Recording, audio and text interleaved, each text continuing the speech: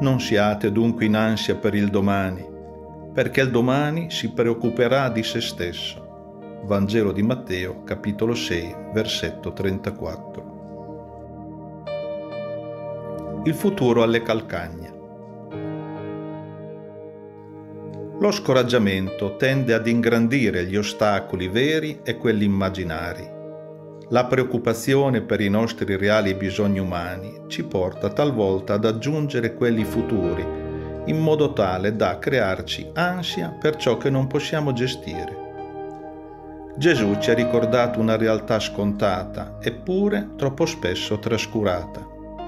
Il futuro è davanti a noi non dietro di noi per rincorrerci col fiato sul collo.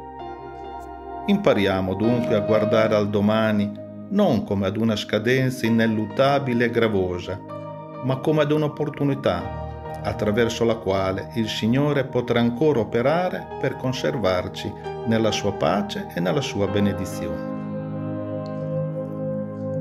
Il problema fondamentale sta nella mancanza di fiducia in Dio cioè nel credere che Egli ha cura del nostro intero essere e non unicamente della nostra sfera fisica.